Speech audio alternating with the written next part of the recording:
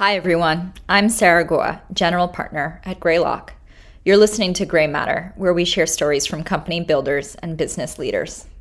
This is part of our Work From Anywhere series, exploring how we in the business world are adjusting to the global pandemic. Today's special episode features economics and management professor at Stanford, Nicholas Bloom, whom I so enjoy talking to because he's just a goldmine of database insight. And he's that weird guy who's been thinking about and studying distributed work for more than a decade, back when it was fringe, and who's, of course, been closely tracking office reopening plans. Let's talk about the future of hybrid. Nick, super excited to have you on the podcast. Would you mind introducing for our listeners uh, yourself and a little bit about what your research areas are? I'm Nick Bloom. I'm a professor of economics at Stanford University in California. Uh, you can probably hear I'm British, hopefully. I've been in the US for 15 years. I've long worked on management practices, in part spurred by working at McKinsey a long time ago. And for a long time, actually, be interested in this weird niche called working from home, which was like of complete boredom to anyone until suddenly you can imagine March 2020, it became like the hottest topic around. So I'm now spending most of my time working on that, talking to execs, collecting data, etc it's been incredibly interesting as we keep an ear to the ground with our portfolio and the leaders in, in the startups in our ecosystem. But what are you hearing as people make these decisions about how to come back into the office and not? What are you predicting firms will do? I'll just give you background. I've been serving thousands of firms and individuals, also talking to a lot of, I've been doing a lot of consulting. So most firms have decided, I would say something like two thirds have opted for hybrid. Within tech, that's an even higher share. So tech has gone heavily for hybrid. So here the setup is you say we're going to come into work, let's say Monday, Tuesday, Thursday, work from home, Wednesday, Friday. So for example, Google just announced, you know, exactly this, the three two plan. So three days a week in the office for most people, two at home. So that's by far the most common. There are, there are some people that, you know, but more in like investment banking, for example, have said we hate hybrid. You've got to come back in. There's good reasons for some of these firms to say that. For example, if you're trading, you need high speed connections or you, you're dealing in confidential data. There are other firms that have said we love remote, like Quora would basically going to stay remote almost permanently. But I would say the vast majority are, are saying hybrid.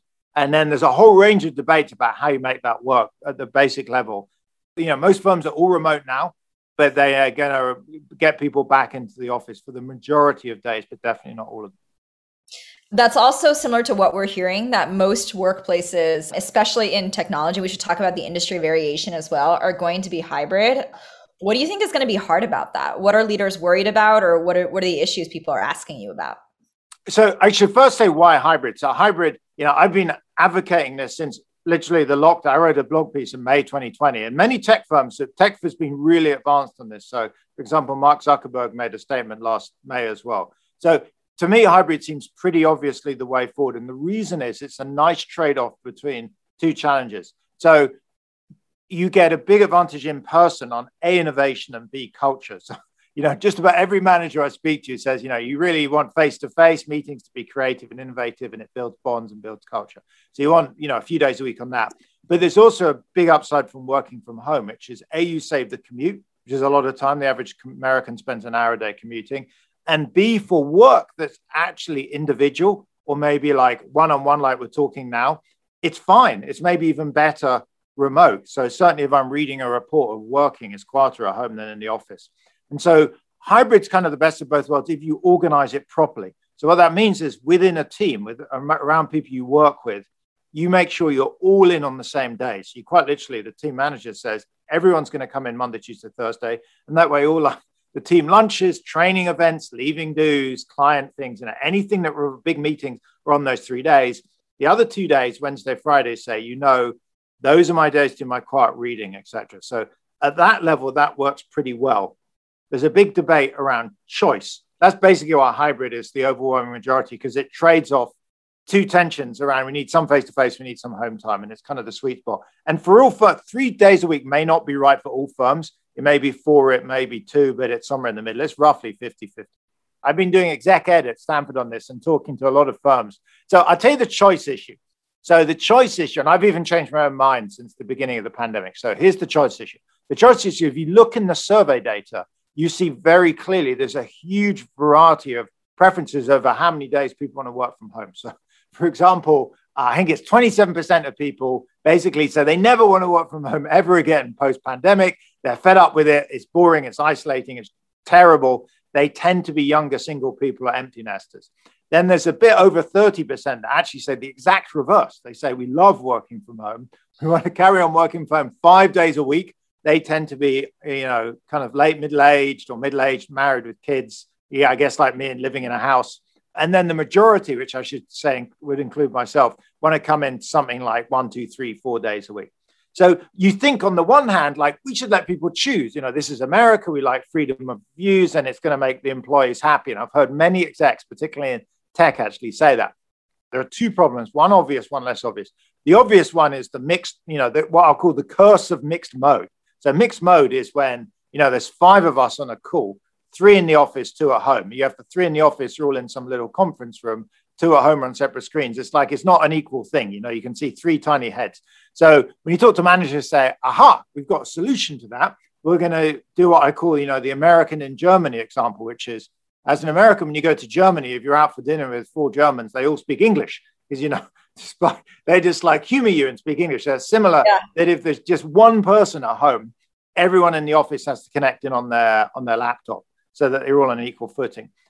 Fine, but there's a problem with that, as you can see, which is, of course, once the meeting's over, everyone in the la- uh, in the office stands up, grabs a coffee, and the meeting effectively continues. So mixed mode is still somewhat problematic. The much worse thing is what I call diversity, which is if you look in the survey data, what we see, for example, amongst college educated respondents to our surveys, which is about 60% of the labor force, if you look at people with kids 12 or under, women report almost 50% higher share of them want to work from home five days a week than men. We also see people living further from the office, disabled people. There are certain groups that are clearly have a stronger preference for working from home more days than others. So that's fact one. You know, that kind of is what it is. And then the other fact is from years of research, we know that if you're in a team whereby some people are coming in every day and others are working from home, those working from home face a big promotion penalty. So, for example, I did a large randomized control trial out in China several years ago where we randomized volunteers into working from home. And those that were randomized into working from home for four days a week their promotion rates were half those in the office after 21 months. So that's an enormous difference. Now, otherwise identical, they've been literally randomized. So if you put that together, you can see there's a huge risk with the choice plan that five or 10 years from now, you have, you know, all the single young men coming in five days a week, rocketing up the company. And let's say, you know, pe- people married with young kids, particularly women, choose not to and then just don't get promoted. And I think that's pretty difficult to deal with. So I'll pause, but that is a hugely contentious issue over where firms are deciding on choice individually, choice at the team level, or no choice at all. We're thinking a lot about the sort of second class citizen problem, is how we're referring to it internally at Greylock. And I think one thing that you and I were discussing was like, is it too ambitious to think that we can actually solve some of these problems if we, to some degree, constrict the choices to put people on an equal playing field and then improve the you know the tools and processes for hybrid teams? In china years ago i had a graduate student called james liang who's now the ceo of trip.com and so he did a big randomized control trial on his firm and we randomized hundreds of people. As you know huge scientific experiment you only get that if the ceo is you know a phd student it was an amazing setup but so we did lots of interviews super cool yeah it was really great and james is a fantastic guy and you know i know probably you know a b- bunch of venture firms have invested in James's firm and I think done very well over the years. So we actually interviewed and tried to find out why do people that work from home not get promoted as fast. And I've talked to a lot of friends and colleagues and firms. So I think there are two reasons. One is fixable, one is harder to deal with. So exactly right. So on the fixable one, you can use data to try and make sure that people working from home aren't just overlooked. So one of the two reasons we found why they didn't get promoted as fast is they're just forgotten about. And so you can use data to try and think more carefully about who's in your promotion pool and consider them whether or not they're physically in the office that day with you. The other thing was much harder, which is it looked like from C-TRIP, and I've heard this anecdotally as well, that you do develop managerial skills being there in person. So mm. it's kind of like the flip side of why people are more productive at home. Because they're not having all those lunches and coffee chats and what seems in the short run maybe to be gossip and in the long run is actually really important to culture building in the firm. And you know if i'm in with you every day i have a good sense of what your you know your outside situation is and your thoughts and you know your abilities etc and i probably would be a better manager for you. And that's really hard to address because fundamentally if you're working from home you may be great at your current job but you may just you may be even better actually. Your current job you may perform better than people coming in because you're more focused but you may lose out on some implicitly kind of you know development that means you would work well as a manager one of the companies I work with is Remotion, which is explicitly trying to enable people to focus on this cultural health and sort of social fabric of organizations' problems. And it, it's interesting because they've also been um, running and looking at survey data. And it's just been a fascinating year in terms of the what leaders are worried about cycling right. very quickly because now I think more and more leaders are recognizing the connectedness and creativity and growth problems are actually the ones that they're going to have to deal with, not the productivity problems. And you know, we'll we'll see if the investments work, but I think a lot of people are taking the risks now. When I've been advising firms, I've generally said this is an enormous revolution, so it's easy to go wrong. It's going to continue to churn. So I would be slightly risk averse and kind of you know go slowly and learn. It's the exact reverse of go fast and break things. Go slowly and learn from other people's mistakes. So i would probably do it centrally. And the reason to do it centrally is you know at the center you say say corporate team you guys are monday tuesday thursday. Industrial you guys are monday wednesday friday. Residential you guys are etc because then you can make effective use of office space. And you can also think which teams overlap so if I think corporate and industrial, I want them in on the same days, I may give them exactly the same three days. And then within the team, everyone sticks to those three days. So that sounds like a very centralized plan, but it is. But it means you can A, design your overlap and use office space effectively, and B, you don't have this diversity crisis because the opposite is let it's a complete free for all. Everyone can choose. Then you can't really shrink the office and then you have all kinds, you know, there are all kinds of issues that come up with it. I'm not saying that's where we end up, but I would honestly centralize in the short run and then relax out from there because the reverse is really hard. You know, you're opening Pandora's box if you say uh, people can choose if you want to work five days a week and you want to move to Hawaii or Alaska, go ahead. Because, you know, if you discover that's a problem, it's very hard to unwind it. Yeah, one of the things I think is so interesting right now is in my professional career, I think in everyone's, there's never been a time where there are such divergent attitudes about the level of risk people are willing to take on workforce strategy to take advantage of the opportunity, right? The window of what was normal or what was accepted in terms of workforce strategy was rather narrow, right? Like you were off yeah. in your your little corner with remote work and everybody was like, "Oh, that niche thing," right? And I will say like we have very large companies in the portfolio and por- former portfolio that said the entire office is like it's it's a WeWork, right? Hotel in, hotel out and we're basically remote through our tools and people can choose to do what they wish. And and so I'd say like there is a real range. I think people are taking some of the risks you are advising against, but I think those people are really going to need to lean into tools that if you're going to be a very decentralized that way, you are you're going to need to be technology first. Right. And we'll totally see agree. how well that works. It may work out. I mean, look, it's like taking a gamble. The other right. thing to point out that's changed in the last for me in the last six months, and I mean the market's even aware of this, as in you know the the uh, New York Stock Exchange and Nasdaq is it's very obvious now that the labor market's become extremely tight. You've seen, you know, as of today, actually, the data coming out showing there's the highest number of open job vacancies there's ever been. And this points towards firms having to offer some working from home day perks. In our survey, it turns out people value the ability to work from home two days a week at about 8% of earnings. So if you're trying to fish employees out of a tight labor market and you do not offer working from home two days a week, you know, you decide everyone has to come in five days a week, you're going to have to pay at least 8% more to get, it's just become prohibitively expensive. So I suspect tight labor markets are just going to force working from home a couple of days a week onto firms because otherwise they're going to have mass quitting and, you know, they're just going to find it impossible to fill positions. Yeah. One of the interesting things we've seen is, as you said, I think some leaders recognize choice is going to be challenging to deal with, but they also look at their workforces of highly skilled people who are, you know, they've been given that choice by the pandemic and they say, what do we do? Right? Like we need to keep these people. So to some degree, a piece of it is being forced upon us.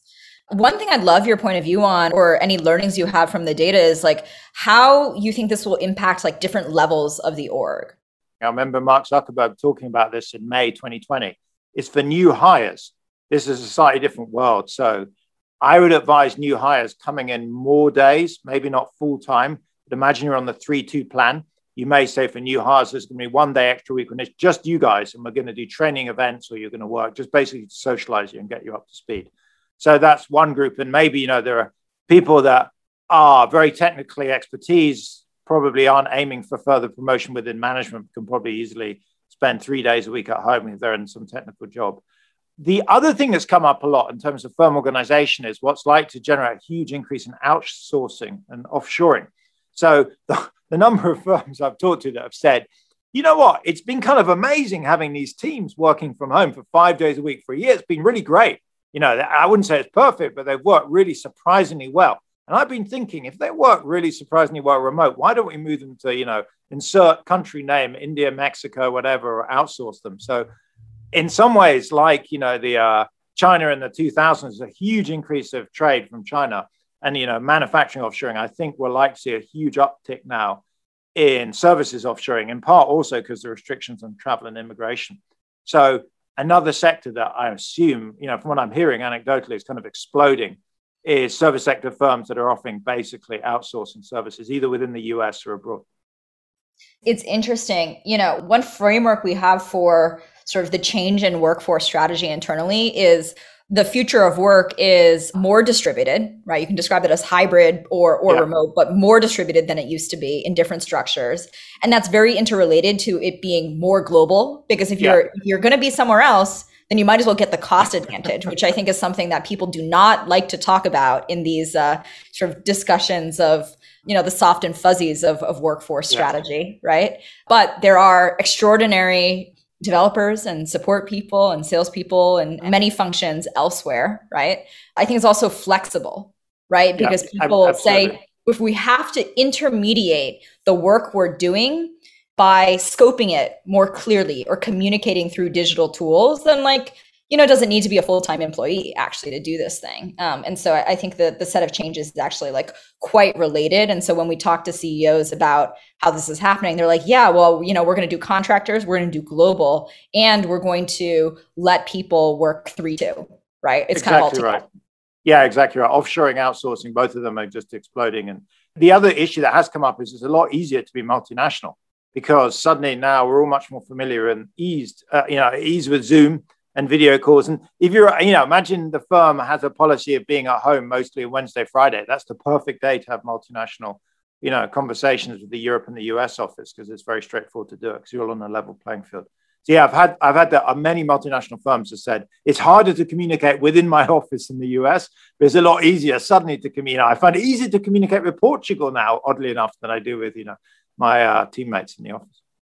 That's funny. So, Nick, you're a Brit. You, you know, you're running studies in China. You're talking to American and global companies. Like, what geographic variation do you think you we will see around, you know, these shifts?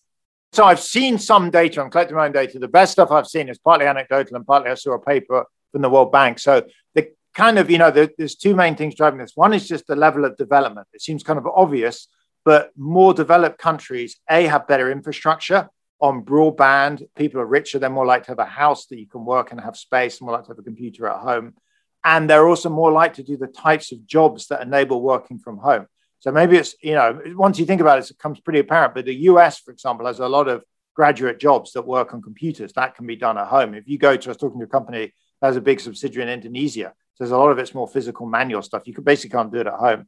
So one huge angle is development. So as you go from kind of Northern Europe and the US down to Southern Europe into the developing world, working from home shares goes down because it's just less applicable and harder.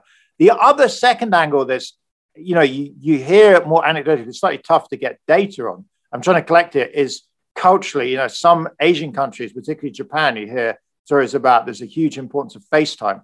And if that's true, I believe that I don't know if you've if you've seen it from your portfolio companies at all that in Asia the uptake's been lower. Now, one reason, of course, they live in small apartments, the Americans tend to have a lot of space and big houses, but I hear anecdotally cultural factors another reason why it hasn't taken off as much, given what you'd expect by the level of development. Yeah, I do think one thing that is a little bit um, sort of understated right now is the degree of cultural change for leaders who have operated in a very different way over a long period of time. Right.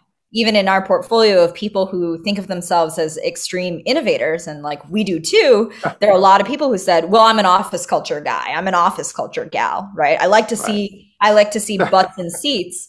And you know, there's a piece of it, as we were talking about, that is the data would show that culture, creativity, progression, like there are things that we need to enable more differently if it's going to be remote that are not automatically solved by people using, you know, Zoom and Slack and such. But some of it I think is going to be just like attitudes in different companies that are going to come from leadership. Um, and some of them may also be like geographic attitudes. Yeah. The other thing, I had a fantastic and fascinating conversation with Marissa Mayer about a year ago now so I kind of reached out to her to interview her to ask her about what happened in Yahoo in 2013 and what we could learn from it. And it was really interesting. And it's a great parable for the importance of management. So Marissa said, you know, when she took over at Yahoo, they'd been through tremendous upheaval and churn. And they didn't appear to have, you know, the best performance management system in place. So she starts putting this stuff in place, like good performance tracking of individuals. And halfway through this process, she discovers there's this group of people working from home. And some of these people, full time working from, as in they're permanently at home, were apparently not logged into their computers as an opened up and turned it on for like over a week. So this is not just, you know, low level slacking. This is complete permanent goofing off. And so she, you know, basically cancels it and then at some point relaxes back a bit. But the parable of this from talking to her is there's really two ways you can manage people. There's what's called input based management. I sit in the office and I physically watch you and I check, are you typing away furiously? Do you appear to be productive? Are you kind of asleep or talking to friends? Or there's output management whereby I say, Sarah, I don't care what you do and where you are. If you get your job done, that's great. And if not, you know, you're in trouble. Now, input based management is horrible at home because you can't watch people. And for firms that relied on it, you can think of it as called basically bad management. But if you're input slash bad management, working from home is a real challenge. Whereas if you have proper performance based output management, it's not that difficult. You're never stare, breathing down people's necks in the first place. So, from talking to companies, it it seems that management, particularly performance management, is very complementary for making this a success. And a lot of firms are going to beefing up data collection and HR because they're like doing the reverse. They're saying, okay, it wasn't great before the pandemic. It definitely needs to be good now. Let's you know beef that up. Yeah, and I, I think like there's different ways to do data collection that I think will be effective and not. I'll give you an example of not. I'm sure you've heard of this too. Especially early on in the pandemic, we talked to a number of leaders that basically wanted to see whether or not people's computers were open all the time, yes. right? or if people were typing right? And perhaps because i have spent too much time in engineering culture but you know it's kind of like engineering metrics you shouldn't measure lines of code right? Because yeah. anything that is even a bad output metric or an input metric that can be gamed by engineers it will be right? No um, totally. I actually see that surveillance software as remote input management and it's yeah i agree. It's not it doesn't work at all. So it's like i can't see that you're working so i'm going to try and do it remotely but it was a bad idea from the outset, and it seems creepy now to do it. I totally agree. So I, that thing has kind of died. I interviewed a surveillance software company back in July last year, and they said business has never been better. And it was very, you know, it was pretty, it was pretty worrying. But I think things have dropped back off. Yeah, I'm sure Marissa's question back at Yahoo uh, during that period of time is like, how did we not notice that these people had no outputs? Or that should have been the, the very first question, right? Yeah, I mean, I I was totally on board with what she, you know, she basically put in an output performance evaluation system. And once mm-hmm. it's up and running, then you can let people work from home, say three days a week, I'm or two days a week. I, you know, I personally, even though I was like the working from home person before the pandemic, was never advocating five days a week. Most people don't even want that. Again, coming back to the earlier discussion, most people want to see their colleagues. It's depressing and isolating. But I think if you're going to work from home two days a week, you just need to be assessed on output. Uh, and then at that point, it works well. What other advice would you have for managers about how to adjust to this? I mean, another thought is on office space that comes up a lot. They're the very obvious things. Obviously, sign short run leases because things are extremely uncertain. I have data on lease length, and that's fallen on average from nine to seven years. So everyone's doing it. I mean, it's, it's pretty obvious. Don't sign long leases now. But if you do get a big discount, the second thing is if you think about the way offices are going to work with hybrid work, the office should now be a place that's really going to have two activities. Most of the time, it's collaborative work. So you want a lot of open spaces, meeting rooms, and a bit of the time you may be off in a little cubicle, basically taking a Zoom call. In which case you want tiny cubicles. What you don't want is the old, you know, Mad Men style era of like executive offices, because people aren't really going to be sitting on their own in the office doing individual work, because that's going to be on their home days. So in terms of office design, it actually goes completely contrary to what was there during the pandemic to stop infection spread. It's actually on open plan spaces and collaborative spaces, and you don't want perspex screens and people in cubicles. Then the other comment is in terms of offices, there's been the net demand for office space in the US is slightly down, not massively. You'd think it would be hugely down because you think, well, look, everyone's going towards working from home. We know in aggregate we're going to go from five to 20% of days working from full days worked at home. So that's a 15% drop in footfall into offices. But you have to remember that's being offset by an increase in demand for space, as in reduced density because of fears of contagion. So net net, it's about equal. So what most firms I'm talking to, they're taking having working from home days, they're using that to de-densify the office. So you know, it's mm. not just elevators, it's reception areas and kitchens, etc. Turns out the one piece of office space that's kind of cursed is high rises. So if you think of you know skyscrapers, they're like you know those things they're still basically empty because take Salesforce Tower or you know it's some huge building in New York. A to get to the front door, you've got to take the subway. You can't do that in the morning and evening rush hour without being packed in you know sardines until or the tube in London. And then B, by the time you get to the front door, how do you get up to floor 40 without taking a packed elevator? And elevators tend to be jammed in the way up in the morning and down in the evening. So those buildings are in real trouble. And if I own space in that and I was going to renew a lease, I'd be looking for a massive discount. I mean, like I don't know, 30, 40, 50%. Because in, in, in reverse, in fact, what tech firms often have, these kind of campuses that you can drive or bike to, and you can walk upstairs if you want, are actually quite popular. So that's the other twist. It's like, it's not that the demand for office space is created, it's, it's created for high rise buildings and city centers. Yeah, one thing we've been talking about at Greylock for the last year is also, you know, if we make these predictions now, what are the second order effects and the third order effects, and can we invest in them? We were talking about the donut effect and the impact on, you know, residential real estate as well. Can you explain that? Yeah, so it's very, very clear in the data. So I'm working, in fact, with an undergrad here, quite amazingly, Arjun Ramani, and we've been pulled two different sources of data. One is Zillow, so zip code prices by month. And the other is we did a Freedom of Information Act on the US Postal Service and got their change of address data by for businesses and households by month by zip code. And you see really clearly in both data sets the donut effect. So just to explain it, what's happening is a central business district, a real core downtowns in large cities. So think of New York, Chicago, LA, DC, uh, San Francisco, are seeing massive outflows of households and of businesses and price drops rental very obviously, but even you know resale prices. The suburbs are seeing huge increases, and then places far away, like I don't know, Topeka, Kansas, or Tulsa, Oklahoma, are going up a bit.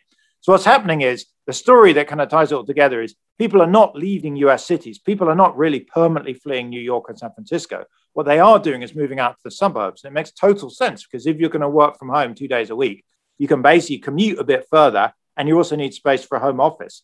And so the whole world and businesses including is moving out. Now, the economic impact is rental rates are down in city centers and also things like retail traffic. So we estimate New York will probably see in San Francisco a drop of about 10% of retail sales in city centers. So, uh, you know, it's not cataclysmic. It's not like we are going to see, you know, back to the 1980s, whereby city centers are dangerous, you know, ruled by crack gangs. Maybe you're going back 10, 15 years mean, city centers have been on an upswing since 1980, and maybe their relative price is going to go back to where they were in 2005. So they're still expensive, they're just less so. So I think the market has already done this, but you know, if you could go back in time, it's pretty obvious you'd want to short city centers and go long in the suburbs. And you know, already the property markets are doing that. I suspect it may continue a little bit actually. What's your prediction for, or maybe you're seeing it in the data for, you know, what we'd think of as like secondary cities? And if there's a lot of movement there? They're up a bit, not much. I mean, quite surprisingly. So we broke it into the top 12 cities, which kind of goes from New York to San Francisco. That's one and 12. And then the next up to out to 50. So a place like Kansas City are like, you know, 30. And then the remaining, whatever, 300 MSAs. And outside that, they're kind of small towns. So what you see is this donut effect is very heavily driven by the top 12 cities. There's a bit in middle and really not much in the smaller ones there is actually, in terms of this is what's kind of interesting, in terms of movement of individuals, people, and businesses, they are slightly moving out from big cities, not massively, a bit. So you see a slight exodus. But in terms of prices, the reverse is going on. So you may think that's surprising, but I think what's happening in the data is the industries that are heavy in big cities like tech and finance have done really well. So the mm. people that work in tech and finance have become dramatically wealthier over the pandemic and afford to buy, you know, much nicer houses and apartments, and that's why they're driving up prices in San Francisco and New York. But they tend to have lower density, so there's probably a lot of lower income people moving out and middle income into, you know, Tulsa, Oklahoma's, and etc. So you know, if you want to have the hottest property market in the entire of the US, it will be the suburb of New York and San Francisco. Those things have gone up by like 50, 100%. Tahoe, apparently, just now become effectively a suburb of San Francisco, is up 100%. And the worst property markets, oddly, are the central business districts of the very same cities. The reverse was happening for the last 40 years that people were moving into the center and now moved out at speed. And since it's about purchase prices it, and businesses are permanently moving, this thing is not going to entirely snap back. Some of it will. So it's not going to, you know, permanently stay like this. Some of it will snap back, but certainly 10 years from now, city centers will be less expensive and lower density than they would have been without the pandemic. So, what you are not seeing yet, which was a prediction by many earlier in the pandemic, is that the sort of second tier of cities massively rising. You know, companies opening offices in Kansas City and such. Not really. You so you know, I talked to probably like you talked to a lot of journalists and they love anecdotal stories about digital nomads, but just literally in the data, you know, given this is tech, in the data from the US Postal Service change of address and Zillow pricing data, we do not see that. So, in fact, prices are going up fastest overall in the large, big cities, and there's some very shallow movement out of them, but honestly, not a lot. I think the reason is until big companies leave large cities, you know, nothing's going to. happen. So, if you are, you know, the Goliath National Bank, to take, you know, that fictional company from How I Met Your Mother, or let's think of a real company like Google or something. You know what? You're probably not very tempted to open an office in Tulsa, Oklahoma. You're probably sticking with Silicon Valley and the Bay Area and New York and a few other large metros because that's where a lot of the grads want to be. They're just now tending to live a bit more out in the suburbs and a bit less in the center. And I think you'll see what LA is like, maybe the development of kind of multipolar cities. So you'll see cities where there's a kind of cool area where you know the young single 20 somethings live and a, an area where you know 30s go with really nice restaurants and maybe 40s and 50s i don't know the art galleries you know you, you, can imagine that we don't all need to cram into the center you can spread out. And la has a bit of that. There's different parts of the city and that may be what the suburbs turn into. Because if a lot of people move out with money the suburbs become more fun. You know there'll be more restaurants. Think of weekday dining. It'd be easier to go to downtown palo alto you know, you know a wednesday because there's a lot of people working at home and so there'd be good restaurants. I do think that perhaps there is a virtuous cycle or like a secular virtuous cycle that hasn't shown up in the data yet, considering the compression of how quickly this has happened. In that, you know, as companies enforce or move to a workforce strategy that is aggressively, you know, more distributed, and then invest in the tooling that enables that then they may become more open to new locations as you said that are that are fully remote or just secondary offices possibly you could argue that, look, if I'm Google, say, I do care that on the three days a week you're in, you actually are networking with other people. If I open an office in Tulsa, Oklahoma with 15 people in it and they just network with each other, that may end up being completely insular and really unproductive. So, in some ways, the hybrid puts more emphasis on you really do need to be social and connected on those three days a week you're in the office. So, there will be like exhaustingly social by you know by the end of each one of those three days, you'll come home. and want to put a towel on your head and say, I don't want to talk to anyone for half an hour. You know, I spent all day in meetings, meeting after meeting, but that's the trade-off in return for having the two days of quiet, you know, uh, serene thinking on your working from home days. But that probably won't work if you're disconnected. Another thing I've heard, by the way, is people are talking about you're going to work remotely for four weeks and you're going to be allowed to live in Alaska and then come in, for, you know, a week where you do. The problem with that plan is most of these meetings you need for big groups, you can't wait for a month. So I say, Sarah, we've got a new, you know, new product coming out, or there's a disaster, this needs to fix. We all need to get together, huddle as a team. You can't say, let's do it next month. So I think hybrid has to be more or less every other day in the office, every other day at home. And then it's very easy to shuffle tasks around because most stuff isn't so urgent. It can't wait a day. Right. So for that future I painted, that actually involves more economic opportunity or more jobs in these secondary cities, like companies are really going to have to figure out the networking and the connectivity across offices and with the rest of the organization. That's a tall order. Yeah, I mean, I had the same thoughts. You I thought early on this would happen. We just are not seeing it in the data, and we have data up to you know March 2021, so it could still happen. I don't want to rule it out, but you know, so far, and we're a year into the pandemic. You know, final thought that's kind of interesting. Another long run trend is the technology around working from home is dramatically improving. So I have data from the U.S. Patent and Trademark Office, and we've um, been looking at and scraping the number of times the word working from home comes up or remote work or video calls in patents. And you see it's about 1% before the pandemic. And then it suddenly just starts to explode from March 2020 onwards. So there's clearly a massive charge of people into innovating around working from home technology, which means what we're experiencing now will clearly get better. So if you look back 20 years, things like, you know, Skype in 2003 was a huge step forward. So you have video calls over the internet and then Dropbox and you know, cloud around 2010, so you could file share.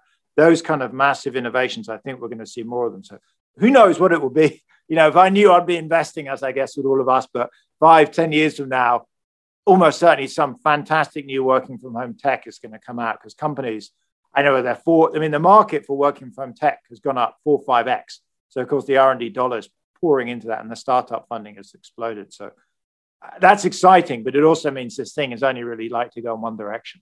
I think yeah, we're going to yeah. get better at it. And so that's another force pushing us towards continued working from home. Yeah. You know, Nick, we don't know and we are investing in it, right? But it, it's certainly something that we believe in just because uh, people want the choice and the potential economic benefits and social benefits are very high but you know it, it, will not be trivial. You've obviously been thinking about this area for a long time but you also have such a good nose for data as to how we can actually understand what's happening and you know be factful in our understanding of it. What research of yours should we look out for or what what else are you interested in understanding in the coming months? Oh well thank you know e- economists are data nerds. I know there's an entire field called data science but it, it's kind of you know econ and data science are more or less one and the same. I'm just continuing to collect data on how this thing unwinds actually not long after the beginning of the pandemic, uh, with Jose Barrero and Steve Davis, we started up a survey of initially two and a half thousand, now 5,000 Americans per month just to collect data. We have another survey of firms with the Atlanta Fed. They're just really interesting seeing how, you know, you can see people charging home, you can see them slowly unwinding. A lot of the stuff from that that's fascinating is on views on people's, say, on social distancing. So one question that I, when I give talks, I often, I use, you know, the polling feature in Zoom, I think is almost a new innovation I ask people the same question we ask these in massive surveys. You always get the same answer, which is post COVID, after you've had the vaccine, what's your behavior going to be? And there's a kind of scale where the highest score is completely return to pre activities, and the lowest is continued social distancing. You can reverse it, doesn't matter what's highest or lowest, but there's the kind of two ends of the spectrum.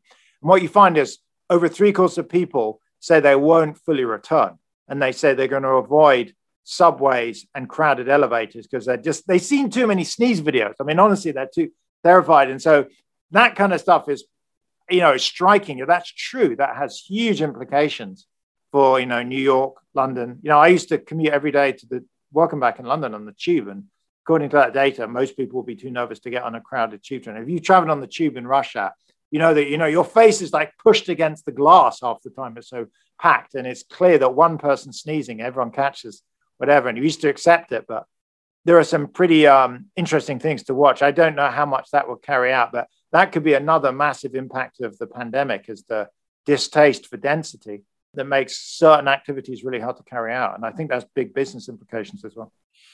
Awesome. Thank you so much for joining us, Nick. Super fun. And we'll just keep uh, watching the world as this unfolds. Great. Hey, lovely to talk as always, Sarah. That concludes this episode of Greymatter. If you enjoyed listening to this conversation and want to hear others like it, please subscribe to Greymatter on SoundCloud, Spotify, or wherever you get your podcasts. You can also find new episodes and blogs on our website, greylock.com. And of course, you can follow us on Twitter at GreylockVC. Thanks for listening.